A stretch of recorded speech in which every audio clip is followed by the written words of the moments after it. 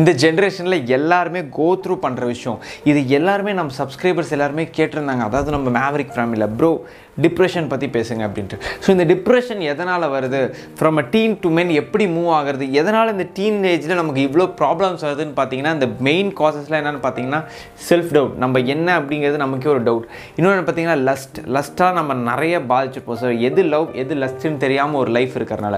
மூணாவது என்னென்னு பார்த்தீங்கன்னா நம்மளோட ஃபோன் நம்ம இருபத்தி நாலு மணி நேரமே ஃபோனில் இருப்போம். எதனால் எந்த ரீசனில் ஃபோனில் இருக்கோனே தெரியாது. கான்டென்ட் மேலே கான்டென்ட் மேலே கான்டென்ட் மேலே கான்டென்ட் அந்த கான்டென்ட்டால் நம்ம மைண்ட் வந்து சப்கான்ஷியஸில் ஏறி அதே மைண்ட் செட்டில் நம்ம இருக்கிறது ஓ இதெல்லாம் நம்ம லைஃப்லேயும் நடக்குது அப்படின்னு நாமளே நினச்சிக்கிறது.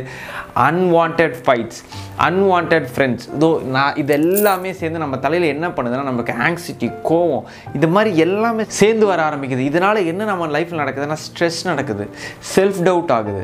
ஆங்ஸிட்டி ஃப்ரஸ்ட்ரேஷன் இது எல்லாத்துக்குமே ஃபைனலாக ஒரு பாயிண்டில் எங்கே வந்து விடுதுன்னா டிப்ரெஷன் ஸோ இந்த டீனேஜில் கண்டிப்பாக டிப்ரெஷன் வரதான் செய்யும். பிகாஸ் நம்ம எரா அப்படி நம்ம ஜென்ரேஷன் அப்படி நம்ம தேவையில்லாத விஷயத்தில் நம்ம நம்ம பேரண்ட்ஸுக்கு தெரியாத விஷயத்தில் நமக்கு தேவையே இல்லாத விஷயத்தில் மூக்க நடப்போம் ஸோ தட்ஸ் த ரீசன் இது எல்லாமே நடக்கிறது. ஸோ இதுலேருந்து எப்படி வெளியில் வருது அப்படிங்கிறத பற்றி தான் நம்ம லைக் ஃபுல் கிளியராக பார்க்க போகிறோம் பிகாஸ் ஒரு டீன்லேருந்து எப்படி ஒரு மென்னாக மாறுது? எப்படி ஒரு ஆல்ஃபா மென்னாக மாறுது அப்படிங்கிறத பற்றி தான் நம்ம இந்த வீடியோவில் பார்க்க போகிறோம் ஸோ வாங்க வீடியோக்குள்ளார போகலாம் ஃபர்ஸ்ட் முக்கியமான பாயிண்ட் நீங்கள் லைஃப்பில் தெரிஞ்சிக்க வேண்டியது ஒரு டீன் ஏஜில் அதாவது ஒரு from sixteen to twenty two twenty three வரைக்கும் நீங்கள் தெரிஞ்சிக்க வேண்டிய ஒரு விஷயம் என்னன்னு பார்த்தீங்கன்னா நீங்கள் பார்க்குற எல்லாருமே லைஃப் ஃபுல்லாக இருக்க மாட்டாங்க. தே ஓன் பி தேர் முதல்ல அதை கிளியர் கட்டாக தெரிஞ்சுக்குவோம் இந்த டீனேஜில் நிறைய பேரை பார்ப்பீங்க. ஒரு ஃப்ரெண்ட்லேருந்து இன்னொரு ஃப்ரெண்டு அந்த ஃப்ரெண்டால் இன்னொரு ஃப்ரெண்டு வெளியில் போகும்போது பழக்கம். நீங்கள் பார்க்குற கேர்ள்ஸ் இன்ஸ்டாகிராமில் இப்போ ஃபாலோ பண்ணுற பொண்ணுங்க இன்ஸ்டாகிராமில் ஃபாலோ பண்ணுற பசங்க இந்த மாதிரி எக்கச்சக்கமான பேர் இருப்பாங்க. எல்லாருமே லைஃப்பில் வரமாட்டாங்க. ஒரு பாயிண்ட் ஆஃப் வியூவில் எல்லாருமே லீவ் போயிடுவாங்க. ஜஸ்ட் ரிமைனிங் ஒரு ஃபைவ் டு டென் பீப்புள் தான் உங்கள் லைஃப்பில் எப்போவுமே இருப்பாங்க. உங்கள் காண்டாக்ட்ஸில் ஐநூறு அறநூறு பேருமே இருந்தாலுமே ஆக்டிவாக லைஃப்பில் நீங்கள் என்ன உங்கள் லைஃப்பில் அக்கறைப்படுறதுக்கு ஒரு நாலு பேர் தான் இருப்பாங்க. ஸோ அதை நீங்கள் புரிஞ்சிக்க ஆரம்பிக்கணும். எல்லாத்துக்குமே எல்லாரையுமே நீங்கள் இருப்பாங்க அப்படின்னு சொல்லி எல்லாத்துக்குமே டைம் வேஸ்ட் பண்ண ஆரம்பிச்சிருவீங்க.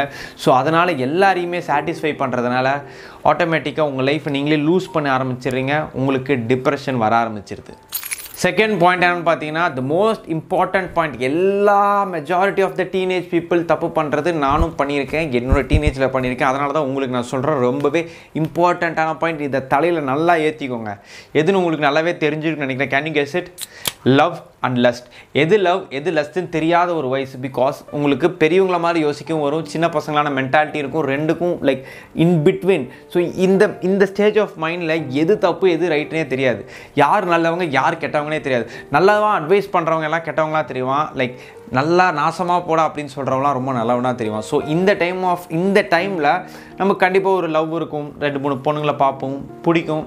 பட் அவங்க தான் லைஃப் ஃபுல்லாக வர போகிறாங்கன்னா இட் ஒன்ட் ஹேப்பன் ஒரு டூ பர்சன்டேஜ் ஆஃப் பீப்புளுக்கு வேணால் நடக்கும். Remaining ninety eight percentage of பீப்புளுக்கு அதால் உங்களுக்கு டிப்ரெஷன் தான் வரப்போகுது கோவம் தான் வரப்போகுது பிகாஸ் நீங்கள் பார்க்குற மூவிஸ்லாம் அப்படி நீங்கள் உங்களை எல்லாருமே ஒரு மைண்ட் செட் பண்ணி வச்சுருக்காங்க. அதாவது இந்த மூவிஸ் எல்லாமே சேர்த்து என்ன மைண்ட் செட் பண்ணியிருக்காங்கன்னா இந்த ஏஜ்லேயே அப்படியே சூப்பராக இருக்கும் லவ் இந்த ஏஜ் இவங்க தான் ரைட் பர்சன் அப்படின்ட்டு ஃபஸ்ட் ஆஃப் ஆல் உங்களுக்கு லைஃப்னால் என்னன்னே தெரியாத ஒரு ஏஜ் இந்த ஏஜில் பார்க்குற பொண்ணுங்க எல்லாருமே உங்கள் லைஃப்லாம் வருவாங்கன்னா வரமாட்டாங்க.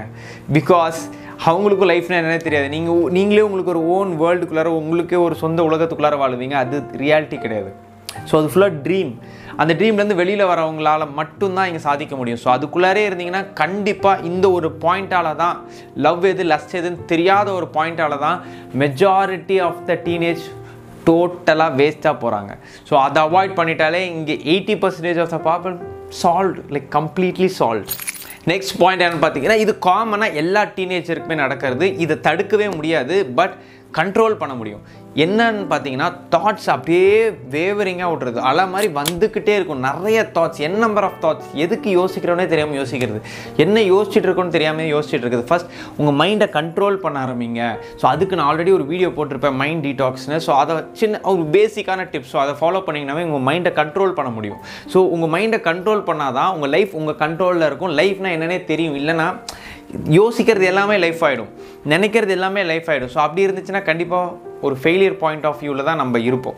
ஸோ ஏன் நிறைய பேர் மேலே போயிடுறாங்க? நம்மளால் சில பேர்லாம் மேலே போக முடியலன்னா திஸ் இஸ் த ரீசன் நம்ம மைண்ட் அப்படியே தாட்ஸில் அப்படியே வேவரிங்காக அப்படியே ஃபுல்லாக தாட்ஸ் அவ்வளோ என் நம்பர் ஆஃப் தாட்ஸ் இருக்கிறனால தான் இங்கே நிறையா சாதிக்கவே முடியல first of all fourth point பார்த்தீங்கன்னா கீப் யூர் சர்க்கிள் ஸ்மால் இதை நான் நிறைய டைம் சொல்லியிருக்கேன். நிறைய பீப்புள் இருந்தால் ஒரு ஒருத்தரையும் சாட்டிஸ்ஃபை பண்ணுறதுக்காக ஒரு ஒருத்தரையும் சாட்டிஸ்ஃபை பண்ணும். அவங்க கோச்சிக்கிட்டா உங்களுக்கு டிப்ரெஷன் ஆயிடும் அவங்க உங்ககிட்ட பேசலைன்னா ஸ்டேட்டஸ் போடுவீங்க. ஐயோ என்கிட்ட பேசல.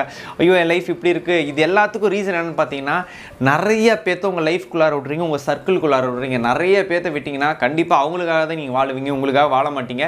எது லைஃப்னே தெரியாமல் போயிடும். ஒரு பாயிண்ட் ஆஃப் வியூவில் எல்லாருமே போயிடுவாங்க.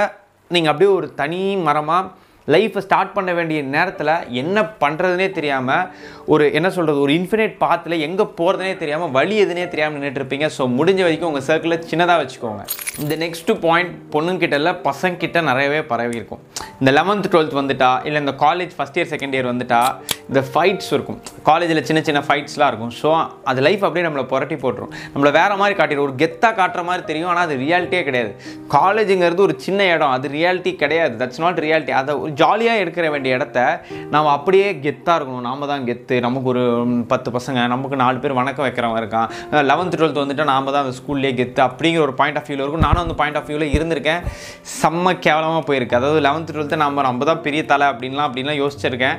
ஆனால் வேஸ்ட் டோட்டலாக வேஸ்ட் நான் பெரிய தலைலாம் கிடையவே கிடையாது. நல்லாவே தெரிஞ்சுக்கிட்டேன். நமக்கு மேலே அப்பா டக்கர்லாம் இருந்திருக்கான்.